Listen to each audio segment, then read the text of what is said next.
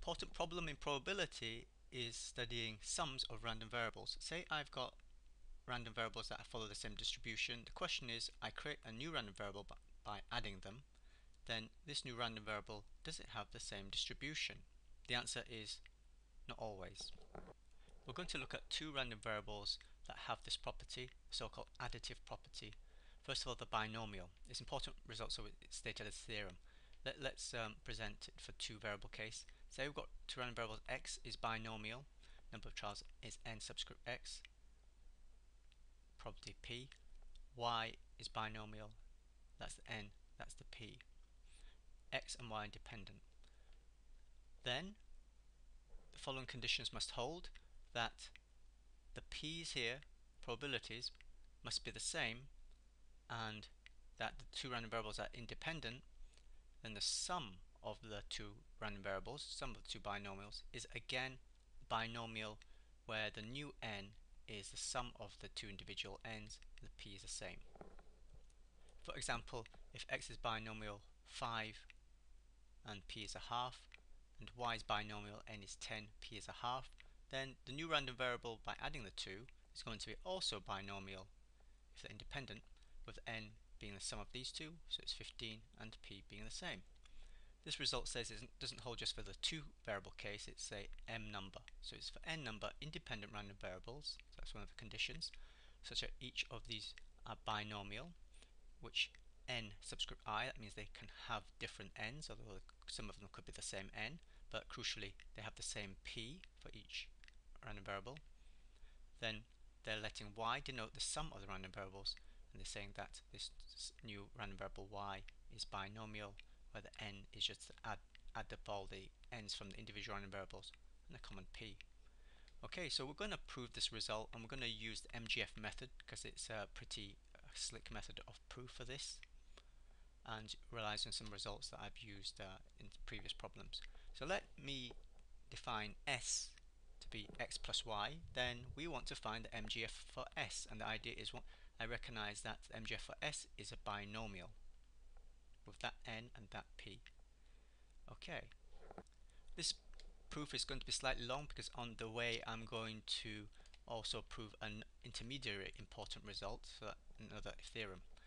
So we want the MGF for S, okay, by definition it's this, but we know that S is x plus y, so it makes sense to substitute for that because I know about the distributions of x plus y being binomial. So let's substitute that in then I think you could agree, forget the expectation sign, this here can be just split into the product of this times that.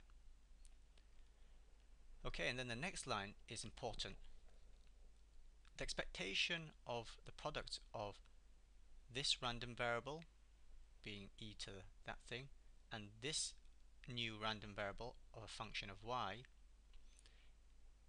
is equal to the product of the expectation of this function of x and a function of y, which by definition you can see it's MGF of x and MGF of y. In other words, what we're saying here is that the MGF for the new random variable is equal to the product of the MGF for the each individual x and y under the given conditions, and that's a theorem. So we're relating the MGF of sum to the individual MGFs. Okay, well going from this third line to fourth line holds because we've used the result from problem 34 which was solved that if we have two in this case two random variables x y then the expected value of a function of x times a function of y is equal to the product of the expectation of the uh, functions.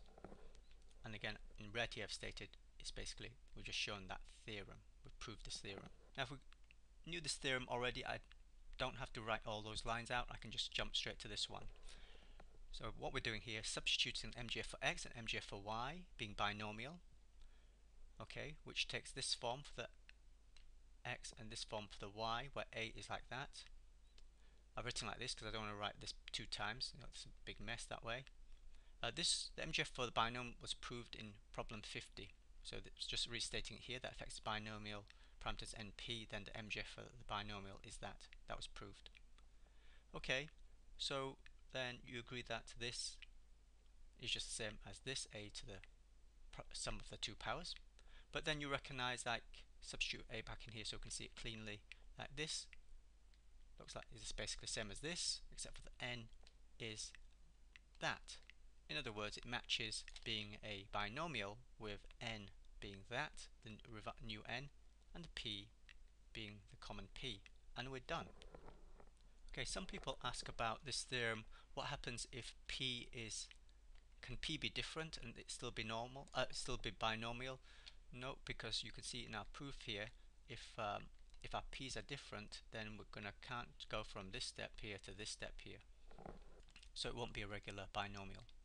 Uh, and that's a much more difficult problem. It's a research problem. So us newbies can just forget about that.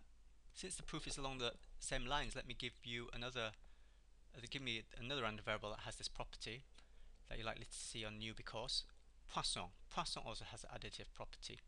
So if I have two random variables, each being Poisson, the parameter like that, and they're independent, then the sum of the two Poissons is also Poisson with a new rate parameter being the sum of the individual parameters. Example, x is Poisson rate parameter 1, y is Poisson rate parameter 3, x and y independent, then the sum of x and y is also Poisson rate parameter 1 plus 3 is 4. We've done it for the n is 2 case.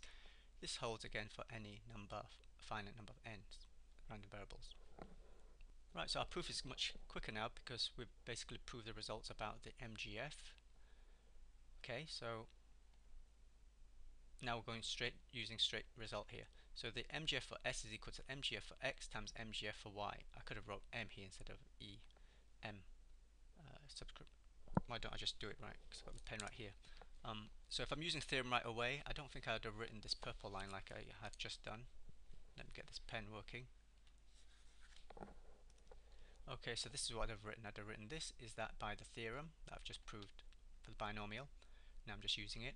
And then just substitute for MGF being a Poisson for x and MGF for y, which is also a Poisson. So it looks like this because I proved that in problem 67. I'm just making a substitution here. Uh, a, t is that, because if I put that into there it looks a bit of a mess. I want to make it quite clear this is e to the t and all this thing minus 1 not e to the t minus 1 up here. Okay. Alright then you can see that using this result that the powers here just add. So I have this but then this is the form of an MGF for a Poisson is what how we identify it but the rate parameter now is this in red. So we're done